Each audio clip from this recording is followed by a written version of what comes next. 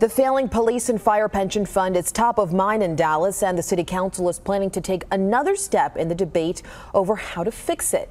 Channel 8's Monica Hernandez has details for us from council chambers.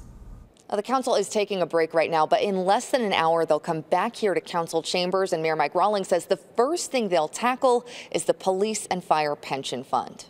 They'll consider a resolution to only support a bill aimed at fixing the fund if it meets certain requirements, mainly that it's not a quote unfunded mandate. Rawlings has called the bill a taxpayer bailout because it would force the city to pay into the fund each year. The pension board says the fund will fail if the city doesn't help. The resolution also calls for a new governance system to oversee the pension fund.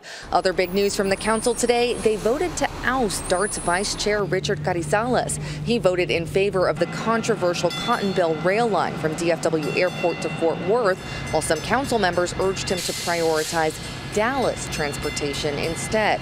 But some council members say that's not what their decision today was about. This vote today is about taking the opportunity to provide strong new leadership on our Dallas delegation to the DART board.